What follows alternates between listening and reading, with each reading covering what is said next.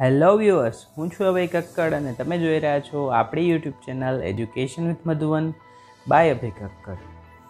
હવે સૌથી પહેલાં આજે એજ્યુકેશનલ ઇન્ફોર્મેશનમાં વાત કરીએ તો મુખ્ય જે ચર્ચાનો મુદ્દો છે એ છે કે એકવીસમી સપ્ટેમ્બરથી સ્કૂલો ખુલી જાય છે.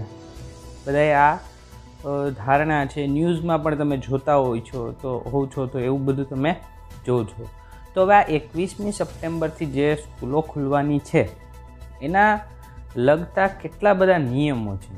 અને જે નિયમો આપેલા છે, એ નિયમો ફોલો કરીએ, તો શાળાએ કાયમી ધોરણે જવાનું ન થાય પહેલી વાત તો. બીજું એમાં એવું પણ કીધેલું છે કે વાલીની મંજૂરી લેવાની છે. ત્રીજું એમાં એમ પણ કીધું છે કે ઓનલાઈન ટીચિંગ છે, શરૂ રાખવાનું છે, એટલે કે ઓનલાઈન ભણાવવાનું છે, એ ચાલુ જ રાખવાનું છે. વિદ્યાર્થીઓને જે કંઈ ડાઉટ્સ હશે, એ સોલ્વ કરવા માટે એકવીસમી તારીખથી એ સ્કૂલે જઈ શકશે અને સ્કૂલે પણ સોશિયલ ડિસ્ટન્સિંગ માસ્ક ફરજિયાત સેનેટાઇઝિંગ આ બધી જ બાબતો છે એનું ધ્યાન કાળજીપૂર્વક રાખવું પડશે. તો આજે બધા એવું સમજે છે કે એકવીસમી તારીખથી આપણે જેમ જાતા હતા પહેલાં, એવી રીતે દોડ્યા જશું દોડાવશું તો એ વાત સાવ ખોટી છે.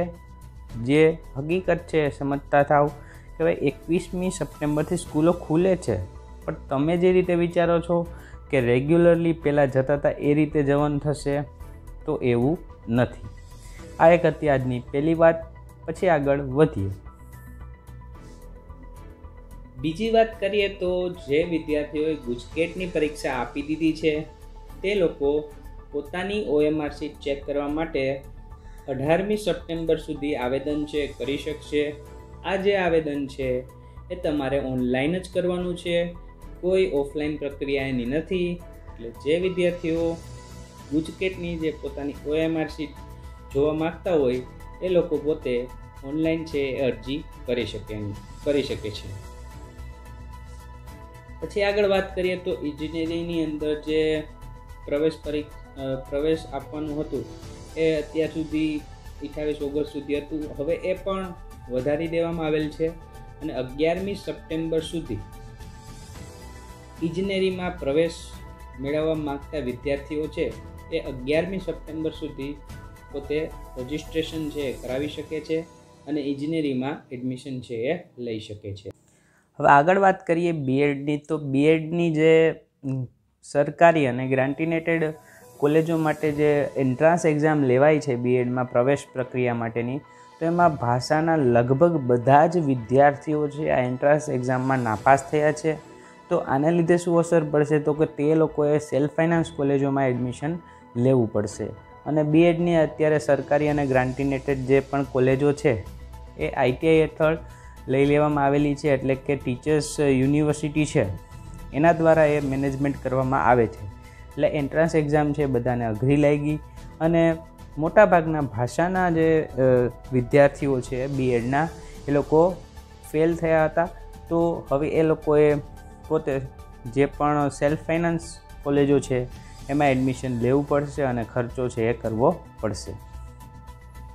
ત્યારબાદ સરકાર દ્વારા જે નવી સડસઠ માધ્યમિક શાળાઓ છે એ આ વર્ષથી જ શરૂ કરવા માટે આદેશ આપી દેવામાં આવેલો છે એટલે નવી જે માધ્યમિક શાળાઓ છે એ શરૂ કરવામાં આવશે. હા, એમાં ઘણી બધી તકલીફો છે કે ભાઈ માધ્યમિક શાળાઓ શરૂ કરવા માટે પૂરતા બિલ્ડિંગો નથી. તો એ લોકો પ્રાથમિક જે શિક્ષણની જે પ્રાથમિક શાળાઓ છે એનો ઉપયોગ કરી અને આ વર્ષેથી જ જે માધ્યમિક સરકારી શાળાઓ છે એ શરૂ કરી દેવામાં આવશે. સડસઠ જેટલી શાળાઓ છે એ આ વર્ષે જ શરૂ કરી દેવામાં આવશે. ત્યારબાદ વાત કરીએ જેઈઈ મેન જે એક્ઝામ છે જે ડબલઈ મેન એ એક્ઝામ છે લેવાઈ ગઈ છે. હવે તમને એવો સવાલ થતો હશે, વિદ્યાર્થી મિત્રો, કે એનું પરિણામ ક્યારે છે? તો અગિયારમી સપ્ટેમ્બર સુધીમાં ઓનલાઈન એનું પરિણામ છે, એ જાહેર કરી દેવામાં આવશે.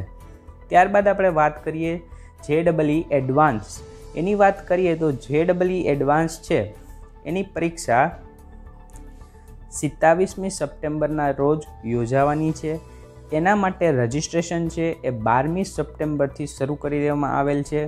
તો જે ડબલ એડવાન્સ આપવા માગતા વિદ્યાર્થીઓ છે, તે લોકો બારમી સપ્ટેમ્બરથી પોતાનું રજિસ્ટ્રેશન છે કરાવી શકશે. તે એડવાન્સ છે, એની પરીક્ષા સિત્તાવીસમી સપ્ટેમ્બરના રોજ યોજાવાની છે. એના માટે રજિસ્ટ્રેશન છે એ બારમી સપ્ટેમ્બરથી શરૂ કરી દેવામાં આવેલ છે. તો જે ડબલઈ એડવાન્સ આપવા માગતા વિદ્યાર્થીઓ છે, તે લોકો બારમી સપ્ટેમ્બરથી પોતાનું રજિસ્ટ્રેશન છે કરાવી શકશે. તે લોકોની પરીક્ષા સિત્યાવીસમી સપ્ટેમ્બરથી શરૂ થશે અને આનું પરિ, અને આ પરીક્ષાનું પરિણામ છે એ પાંચમી ઓક્ટોબર સુધીમાં પ્રસિદ્ધ કરી દેવામાં આવશે.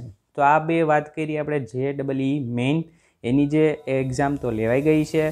હવે એનું જે પરિણામ છે એ તમારે અગિયારમી સપ્ટેમ્બર સુધી મળી જવાનું છે. પછી જે ડબલઈ એડવાન્સની વાત કરીએ આપણે, તો એમાં એક્ઝામની તારીખ, રજિસ્ટ્રેશન અને રિઝલ્ટની તારીખ પણ મેં તમને આજના વિડીયોમાં કહી દીધેલી છે.